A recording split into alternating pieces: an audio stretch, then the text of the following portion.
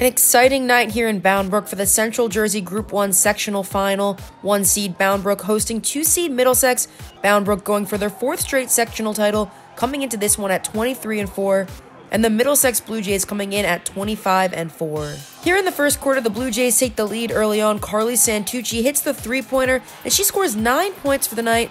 All her points coming from three three pointers. And here comes Bound Brooks Cortlyn Morris. She adds two to the board for the Crusaders and she goes on to score the game high 19 points. And it's 5 3 Middlesex about halfway through the first. It's Morris again trying to bring this one to the net. She misses the shot but then makes it in after the rebound. Speaking of rebounds, Morris walks out of this game with a triple double 10 rebounds, 12 blocks, and 19 points, but the Blue Jays lead by two going into the second quarter. And Middlesex keeping up the momentum at the beginning of the second. Kristen Yonker with the shot. She scores the team high for the Blue Jays with 11 points, and Middlesex leads by five.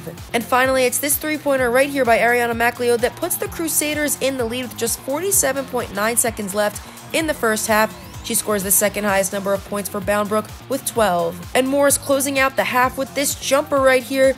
And Bound Brook has found their energy as they lead 22 to 18 at the break. Cortlyn Morris is just on fire tonight. She averages 13.1 points per game and has 1,128 career points. The Crusaders keep the lead early on in the third quarter, and here comes Cameron Ward. She comes out of this one with a double double, scoring 11 points and putting up 15 rebounds for Bound Brook.